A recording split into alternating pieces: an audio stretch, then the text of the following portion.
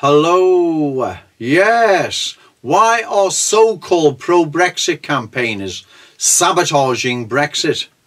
I make this video in response to the latest round of harassment and intimidation of Tory MP Ann Soubry by a Jamie Goodard and his henchmen. Whether not the henchmen or fellow travellers or useful idiots, I don't know.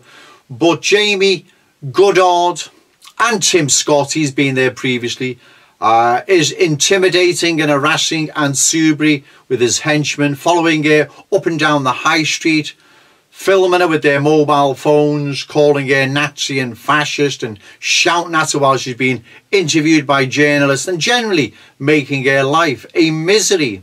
Now you've got to ask yourself, why would two so-called pro-Brexit campaigners, Jamie Goodard, Tim Scott, act in such a way that it would only bring the pro-Brexit campaign into disrepute? Well, simple. They both work for the security services and they're there to demonise and damage the Brexit campaign, not support it, right? You see, haven't you noticed all these little pro-Brexit groups that keep popping up out of nowhere?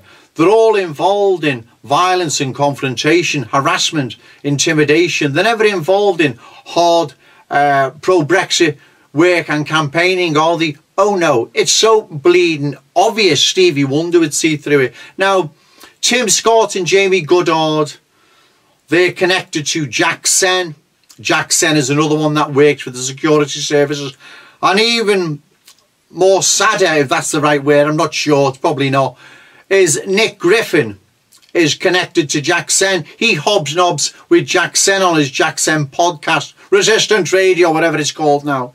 You see, Nick Griffin, you're aiding and abetting what's going on, right? You are aiding and abetting the demonising of the Brexit campaign. Of course you are, right? Because you're giving these people kudos, street cred, respect by associating with them. You ought to be ashamed of yourself. And don't tell me you can't see what's going on. All these little groups just keep popping up out of nowhere. Yellow vest are they called now.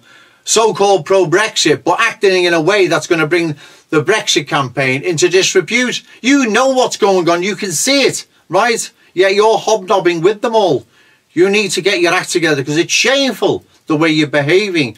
But anyway, Jamie Goodard and Tim Scott work with the security services, so that probably explains their bizarre antics and behaviour. Okay, thank you.